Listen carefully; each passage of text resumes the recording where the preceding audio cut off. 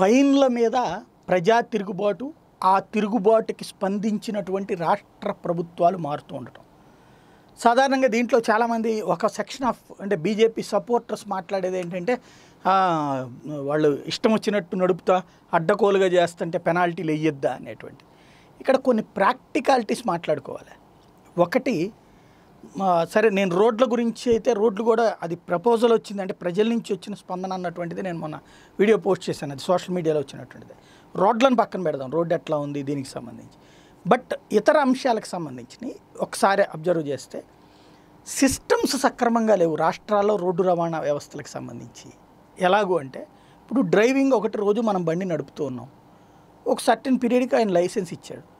Licence ఇచ్చిన తర్వాత మళ్ళీ రెన్యువల్ అన్నప్పుడు మళ్ళీ డ్రైవింగ్ టెస్ట్లు ఏంటి దట్ మీన్స్ అక్కడ ఒక టైము అమౌంట్ ఈ వ్యవహారం. ఆటో రెన్యువల్ అవ్వాలి కదా బతికున్నామా లేదా అని తెలియడానికి రెన్యువల్ అనే సిస్టమ్ అంతేగాని నిన్నటిదాకా డ్రైవింగ్ వచ్చిన వాళ్ళు వాళ్ళు డ్రైవింగ్ మర్చిపోయి మళ్ళీ కొత్తగా నేర్చుకుంటారా? లేదు కదా.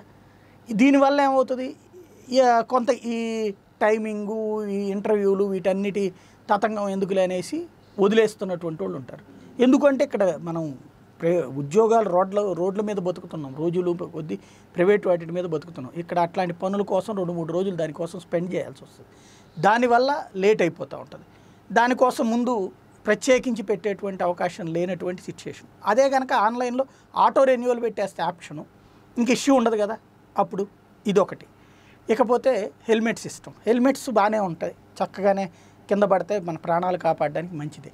కానీ దాని మనకి హెల్మెట్ పెట్టుకొని పెట్టుకొని పెట్టుకోండి అని మొత్తుకుంటున్నారు తప్పించి దాన్ని ఈ చెప్తున్నటువంటి డ్రైవర్లు కానీ చెప్తున్నటువంటి అధికారులు ఎంతమంది పెడుతున్నారో నాకు తెలియదు నేను హెల్మెట్ పెట్టుకుని చాలాసార్లు చూసేది ఏంటంటే ఆ చెవులు మూసుకుపోతుంది అది.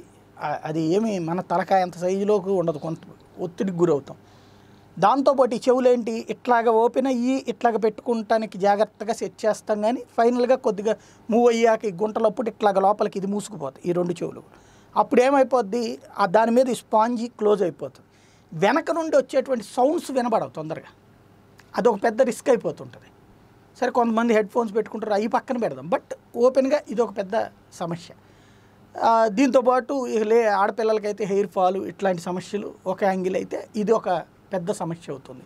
దీనికి ఏంటి పరిష్కారం? దానికి అట్లాగా ఈ చెవులు మూసుకుపోకుండా ఉండేటువంటి సిస్టమ్ ఏమన్నా దాంట్లో కొత్తగా కనిపెడతారా? అట్లాంటిది ఏదైనా కనిపెట్టినప్పుడు కంఫర్ట్గా ఉందంటే ఎవడొద్దంటాడు ఇప్పుడు. ఆడపిల్లలకి ఏదో వరకు బురకాల గురించి వాటి గురించి కామెంట్ చేసేవాళ్ళు. ఇప్పుడు ఆడపిల్లలందరూ మొహానికి ముసుగులు కట్టుకుంటున్నారు కదా ఎందుకు కట్టుకుంటున్నారు? పొల్యూషన్కి మొహం పాడైపోతుంది కలర్ పాడైపోతుంది ఇట్లాంటివి ఇప్పుడు అట్లాంటి వాళ్ళు ఆ కలర్ పాడైపోతుందని మొహాలకే ముసుగులు కట్టుకున్నటువంటి అప్పుడు హెల్మెట్ అనేటువంటిది ఇంకొక ఈజీనే కదా హ్యాపీనే కదా. కానీ ఎందుకు వాడట్లేదు అంటే అటు హెయిర్ ఫాల్కి సంబంధించిన సమస్యలు ఇటు దీనికి సంబంధించినటువంటి సమస్యలు. ఇది ప్రాక్టికల్గా దీనికి ఏంటి సొల్యూషన్ ఇది ఒక ఆలోచన చేయాలి కదా ముందు ఏ నువ్వు సచ్చినట్టు చేసే అనేటువంటి సిస్టమ్తో. ఇవి కాకుండా రోడ్ల మీద ట్రాఫిక్ సిగ్నల్స్ కరెక్ట్ మంచిగానే ఉంది. ఇప్పుడు ఫర్ ఎగ్జాంపుల్ హైదరాబాద్లోనే చూస్తాం. లేదంటే కనుక మన బెజవాడలోనో గుంటూరులోనే చూస్తున్నాం. ఇప్పుడు యూటర్న్లు ఎక్కువ పెట్టాం. ఈ యూటర్న్లు పెట్టిన చోటన పక్కనకి తీసి కొంచెం ముందుకెళ్ళి మళ్ళీ ఇదంతా చుట్టూ తిరిగి వచ్చేటువంటి క్రమంలో ఓ పక్కనకి ఆపుకోవాల్సి వస్తుంది. ఈలోపు పెనాల్టీలు పడిపోతుంటాయి.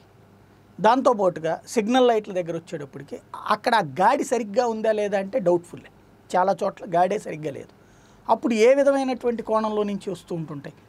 ఇవన్నీ ప్రాక్టికల్. ఈ ప్రాక్టికల్ సమస్యలు పరిష్కరించి పెనాల్టీలు వేయడంలో తప్పులే. కానీ ప్రాక్టికల్ సమస్యలు పరిష్ మేము మాత్రం అవి అంతే మా దోవన మేము పెనాల్టీ వేస్తామంటేనే ప్రజల్లో తిరుగుబాటు వస్తుంది.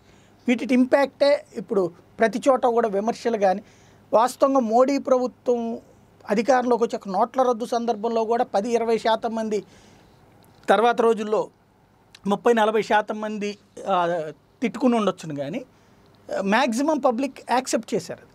కానీ ఈ పెనాల్టీలు వీటికి సంబంధించి తమని ఇబ్బంది పెట్టడం అనే కోణంలోనే కాకుండా ప్రభుత్వం క్లారిటీగా లేదు అన్నటువంటి ఫీలింగ్ మాత్రం వందకి డెబ్బై ఎనభై మందిలో ఉంది. ఇప్పటికి ఒక ఇరవై మంది అంత మేము కరెక్ట్గానే ఉన్నాం కదా అనుకోవచ్చు. ఇప్పుడు సీట్ బెల్ట్లు ఈ ఇష్యూస్కి సంబంధించి వచ్చేటువంటి అన్నీ కూడా ఆ కోణంలోనే ఉంది.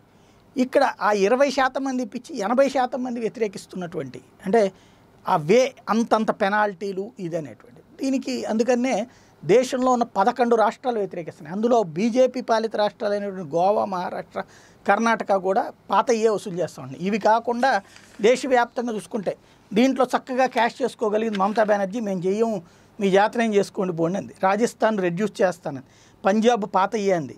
తెలంగాణ వచ్చేటప్పుడు దీని మీద ఒక ఎక్స్పర్ట్స్ ప్యానల్ అంది. మధ్యప్రదేశ్ వచ్చేటప్పటికి ఎగ్జామిన్ చేస్తామంటారు ఒరిస్సా వచ్చేటప్పటికి అసలు నో హైక్ పాతదే మూడు నెలల పాటు పాత పద్ధతి ఆ తర్వాత ఆలోచిస్తూ ఉంటాం పాండిచ్చేరి అసలు ఈ బి- బిల్లు ఇంప్లిమెంటే చేయమంది. రాజస్థాన్ వచ్చేటప్పటికి రెడ్యూస్ చేస్తామంది ఉన్నటువంటి eh, పెనాల్టీని పశ్చిమ బెంగాల్ పొమ్మనమంది. అట్లాగే కేరళ వచ్చేటప్పటికి అసలు దాని గురించి పట్టించుకునే పట్టించుకోవట్లేదు. ఇప్పుడు ఉన్నటువంటి లెక్కల్లోనే ఎట్లుంది? దట్ మీన్స్ దేశవ్యాప్తంగా ఇంకోటి కాంగ్రెస్ కూడా మంచిదే ఉద్యమం చేయడం. ఇక్కడ ప్రజాస్వామ్యంలో ఇవాళ వాస్తవంగా చెప్పాలంటే ప్రజాస్వామ్య సూత్రం అవసరం తెలిసింది. ప్రాంతీయ పార్టీలు ఉండాలా? ప్రతిపక్షం స్ట్రాంగ్గా ఉండాలి అనేటువంటిది.